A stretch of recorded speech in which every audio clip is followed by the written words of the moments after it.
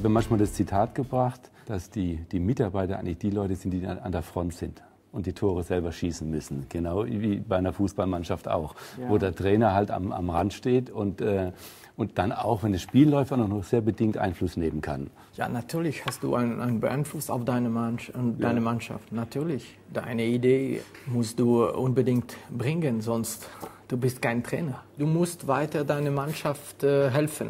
Ja. Manchmal habe ich äh, Liebe auf der Bank zu bleiben mhm. und manchmal gehe ich sofort auf der, auf der Linie. Ich, ich will äh, meine Mannschaft und meine Spieler nie, äh, nicht bremsen.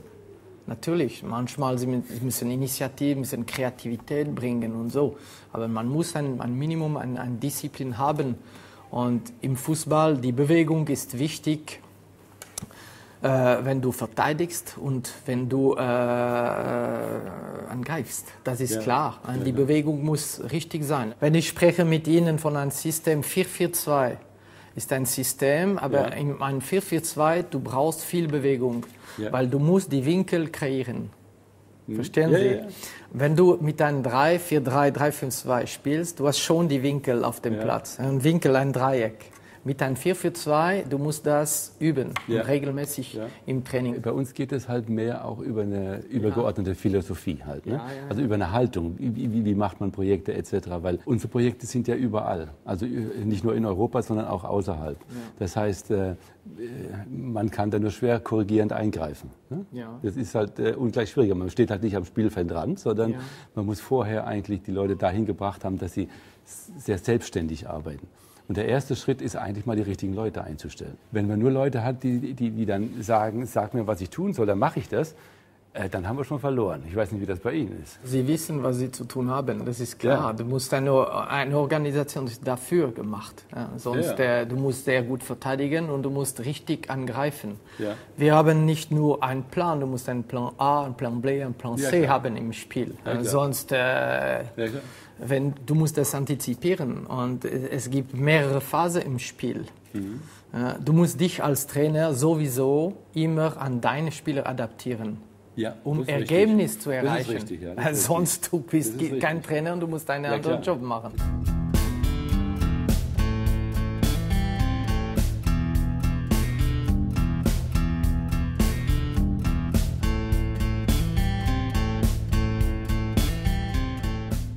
was so Arbeitsdisziplin angeht, äh, muss man schon auch selber Vorbild sein. Ja, ja, na natürlich.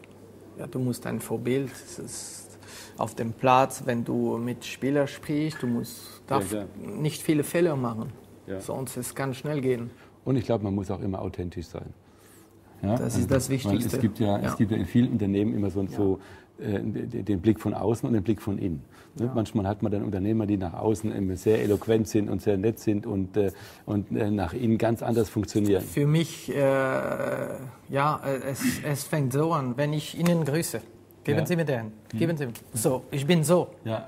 Das ist die erste Kommunikation. Ja, klar. Ah, das, ja, ist, das ist schon wichtig. Und ja, das passt und manchmal, oh, er ist nicht so. Aber du musst schon. Ja, äh, klar ehrlich sein, ja. äh, total äh, loyal, deine, ja, das ist die erste Kommunikation. Sonst, es fängt nicht gut an. Und das merken die Spieler auch ganz schnell. Gerade junge, junge Mitarbeitern muss man auch viel Vertrauen geben. Ja? Ja, dass, sie, dass sie auch vertrauen in die eigene Leistungsfähigkeit. Und ich beobachte oft, dass wir unseren Mitarbeitern mehr zutrauen als die sich oft selber. Das kriegt man aber auch dann nur hin, indem man Transparenz schafft und den Entscheidungsfreiräume gibt. Wir sprechen auch viel, ja. in, kollektiv ja. und individuell. Du musst ja. heutzutage als Trainer viel mit den Spielern sprechen. Vor 30 Jahren ist das ganz anders. Heute du musst viel mehr mit, mit dem Spieler sprechen, erklären oder so. Du musst mhm. ehrlich sein, sonst ist es eine Frage von Zeit, dass du tot bist. Ja, ja ich hatte, auch, äh, ich hatte auch den Eindruck, früher war der Trainer mehr der General. Ne?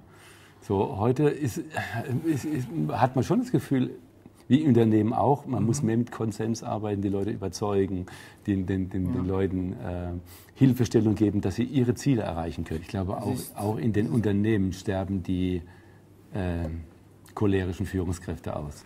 Ich glaube, auch da äh, ja. ist mehr äh, ein Miteinander gefragt, auch ja. äh, einen Führungsstil, ja. der die Leute überzeugt und mitnimmt und äh, Vertrauen schafft, etc. Wie, es ist nicht mehr wie vorher. Der Spieler muss viel Vertrauen haben ja. und du, du musst das schaffen als Trainer.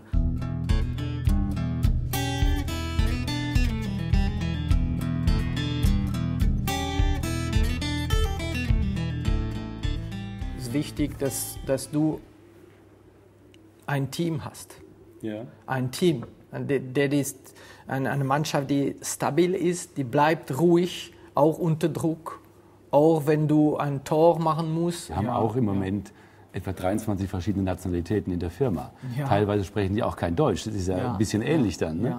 Ähm, daraus nachher ein Team zu formen, dass die nachher auch zielgerichtet äh, zusammenarbeiten und auch ein Ergebnis bei rauskommt. Ne? Das ist wichtig, dass wir das gut analysieren. Äh, nicht nur äh, Spielintelligenz, technische Bewegung, Schnelligkeit, Kondition, mental und Charakter ist sehr, sehr wichtig, äh, dass wir ein, ein, Team haben. Die Spieler, die, die wollen zusammen Erfolg haben. Manchmal äh, kommt ein Verein oder eine Mannschaft auch emotional in so ein Tief. Ja. Und es äh, ist ganz, ganz schwierig, da selber wieder rauszukommen. Du musst die, immer die Spieler noch einmal ja. überzeugen, ja, das dass die Mannschaft zählt. Wenn ein äh, nicht äh, kollektiv spielt, natürlich, mhm. wenn, du, äh, wenn, du, wenn es äh, schief, schief läuft, ja, du musst ein paar Sachen korrigieren und du musst als Trainer schnell sehen, was nicht geht. Ich denke, ein, ein Spieler, wenn ein Spieler kreativ ist und der Unterschied allein macht, alle wollen das. Ein Robben macht der Unterschied.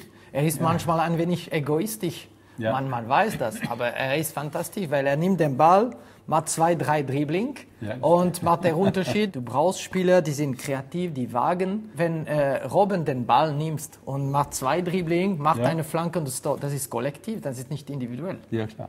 Aber man, man, man, braucht halt beide. Das braucht man im Unternehmen man braucht auch. Beide, man, man braucht auch die Leute, die die Verantwortung annehmen und die, sagen die, mir nach. Die das machen wir jetzt die stabil, so. Die bringen ja. Stabilität, natürlich. Ja, die Mischung, ja. die Mischung. Wenn ich Leute einstelle, dann interessiert mich weniger die, die, die, die Qualifikation, sondern der Charakter.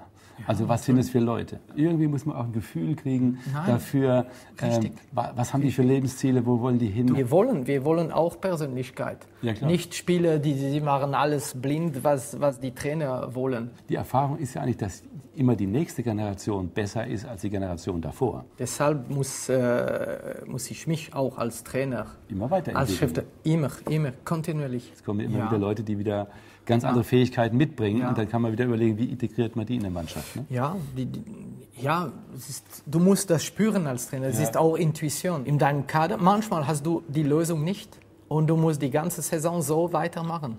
Du hast keine Wahl, Jahr für Jahr ich würde sagen, als Trainer, weil als Trainer müssen realistisch sein. Es, ist, mhm. es kommt eine Zeit, wo es immer gefährlich ist für einen Trainer. Ja, das ist klar. Und deshalb, du musst planen. Ja, ein Trainer muss immer bereit sein, Koffer ja, zu machen. Ja, ja. Das habe ich, diese, diese, ich bin bereit das Problem immer. habe ich nicht, mich kann keiner rausschmeißen. Du hast dein Ergebnis jeden Tag in der Zeitung. Ja. ja als Verein. Es ist wie ein Geschäft. Jeden Tag, du hast die Tabellen. Jede Woche, jeden ja. Tag am ja, Fernsehen, in der Zeitung und so. Das volle, ist, das volle ist, Transparenz. Das ist volle, ja, aber das, das ist ein wenig anders. Und deshalb, ja, als Trainer, wir kennen unseren Job.